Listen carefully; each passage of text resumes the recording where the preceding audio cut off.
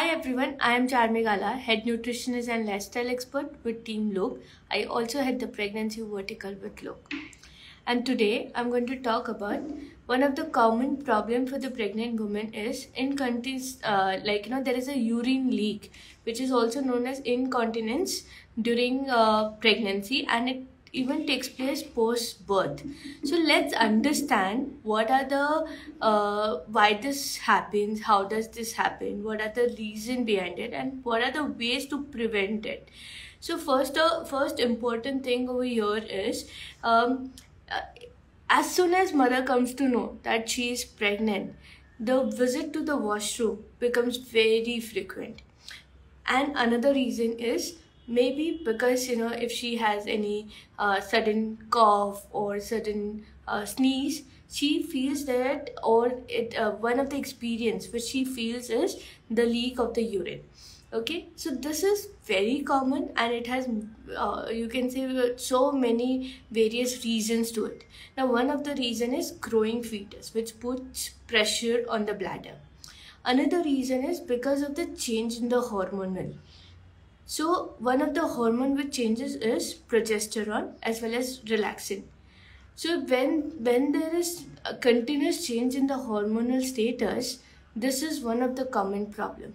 But yes, with this there are various way to help mother to make sure that the pelvic strength is really uh, strong and the ut- and basically we need to train the uterus so let's understand what are the various ways which we can help mother which they can follow and see some changes or some relief in this one of the common problem during pregnancy. So first important thing is one of the important step is at, when, when mother experience that you know she is visiting the washroom very frequently one most important thing which she does is she does not take good amount of uh, water or the or hydration hydration level is not well. So considering that there can be dehydration which can affect the mother's health as well as the fetus. So and there are certain fruits which can lead to dehydration like increase intake of caffeine. Like you know uh, because of the lot of hormonal changes mood fluctuation is also there. And because of the mood fluctuation she may have um, chocolates. Uh, she may have uh, um, coffee tea. So a lot of caffeine related stuff uh, you know she may uh, may take it. Or lot of sugar related stuff like you know fruit juices or something like that. This can lead to dehydration. So make sure that she is hydrated well taking good amount of liquid at least 10 to 12 glasses of water uh, which can help her to prevent the dehydration which in turns help her in taking care of the urine leak. But one of the most common question if she keeps drinking water she she is going to definitely visit the washroom. Yes she is definitely going to visit the washroom but dehydration can be also uh, dangerous. So how in water intake should be very high. So what is the next step? How she can help herself you know to train the uterus. So one of the uh, one of the experience uh, which we have experienced with our client is whenever mother basically uh, you know uh, gets an urge of urination she quickly gets up and go visit the washroom just in the fear that she doesn't soil her clothes. Now this creates an environment of fight and flight response. This indirectly gives an um, message to our nervous system that this is the way as soon as uh, you know the mother get urge of urination this is the exact way what uh, you know she, she should run quickly to the washroom and uh, you know empty it out. So this this response fight and flight response should be slowed down. So what she needs to do it she first need to take a few deep breaths try to hold it for a few seconds and slowly she needs to visit the washroom. So this is one of the best way to train your uterus. So it's very very important. Uh, respond to respond to the symptom but very mindful. So this is one of the important way Second important way is to do Kegel exercise. If the pregnancy is not high risk pregnancy, correct and if doctor has given green, green signal to do this exercise then kegel exercise or pelvic floor exercise which he definitely need to learn under a proper supervision or from a proper uh, prenatal yoga expert or the antenatal classes uh, need to learn understand and follow this which is extremely extremely important now uh, third important way which she can uh, definitely look uh, uh, forward uh, to do is uh, also you know I, I keep getting a lot of questions I keep getting a lot of questions related that you know there are frequent urinary infection during pregnancy. There is a frequent you know leak this can be because of the previous pregnancy also. If the baby weight was very high in the first pregnancy, mother can face this frequent urination. If mother has faced constipation, this is also one of the reason where, you know, because of the constipation, there is lot and lot of pressure on the uh, bladder. So this is also one of the important thing that mother needs to take that, that she is you know preventing constipation uh, during pregnancy. And there are various ways to prevent the constipation including good amount of fiber hydration uh, if mother is allowed to do exercises that also really helps. So depending what cause what is the trigger of the constipation in your case definitely one is the hormonal as well as the growing fetus but what are the other common triggers? She needs to really work on that. So which can help indirectly for taking care of the urine leak. Now, uh, also one of the thing which we have, uh, you know, come across with our client is they really love to wear heels. Now, while wearing her heels, what ex exactly happens? Your there is a disalignment for the pelvic area.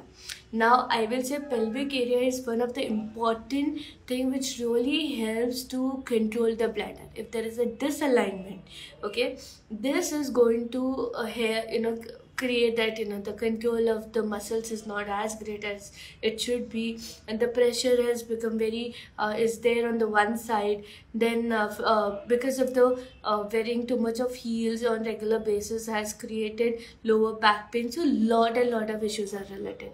So my suggestion is in case if mother really wants to wear the heels and doesn't want to um, you know go for flat foods or flat chappals or something like that then they should definitely support their uh, belly with the pregnancy belt. Now this baby wearing they can use a proper pregnancy belt approved by their gynec or they can look for for cloth based baby wearing which they need to learn to wear um, you know how to tie and how to give support to your belly. That's very very important so considering all this stuff, uh, following good hydration, reducing the caffeine intake, uh, focusing on uh, whether they are wearing the heels, then what are the other ways like wearing a pregnancy belt they can look? And if they are ready to change from heels to flat shoes it is going to be really helpful. And one most important in place of getting panic and rushing to the washroom please take few deep breaths because uh, by doing rushing to the washroom you're actually giving the nervous system signal. This is the way you need to respond uh, to uh, to the urge of urination. So this is very very very uh, you know important to follow all these things. And definitely don't miss the fun with your friends you know in the fear that okay what happens if i have a leak uh, uh, you know uh, there's a leak of urine when if i laugh on some jokes or if i spend some good happy times where i'm smiling or if i have sneeze or cough then how do i manage? Only one important thing i will say is carry the pair of uh, you know other clothes which where you can change yourself and in place of just feeling guilty. So look for what are the triggers in your case.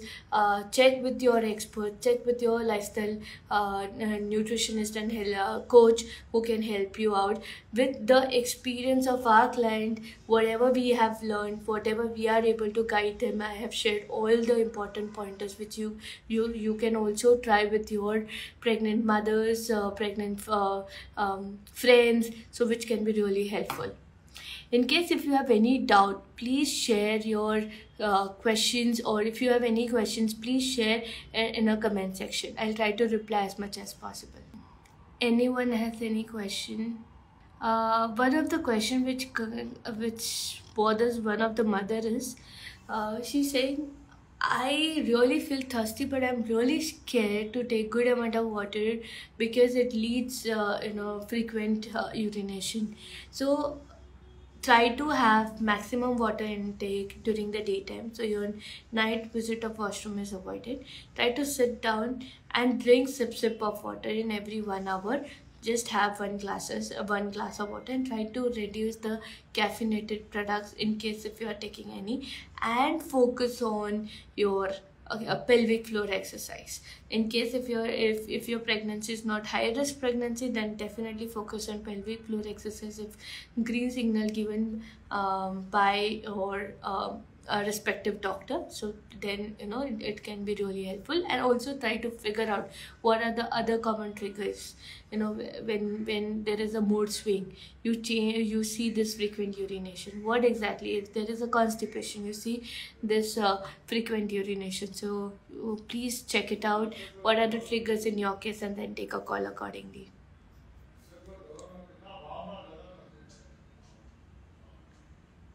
any other question? Okay. So uh, just to summarize is frequent urination during pregnancy is very common one of the common sim- symptom during pregnancy. So uh, and there are various causes to this because uh, there is a growing fetus which puts pressure on the bladder as well as because of the hormonal change progesterone and relaxin plays an important role. So they can also lead to frequent urination but there are different ways to deal with it. So first is uh, understand fight and flight response and then act accordingly. Or you know you need to retrain your uterus.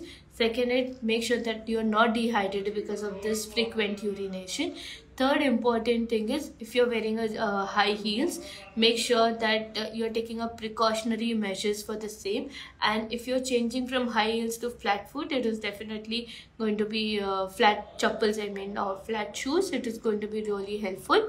Uh, so you can focus on that as well as train yourself for the pelvic floor exercise in case if you are uh, able to do all kind of exercises as well as um, uh, if, if, there is no uh, no risk of doing any prenatal exercises always do it under supervision.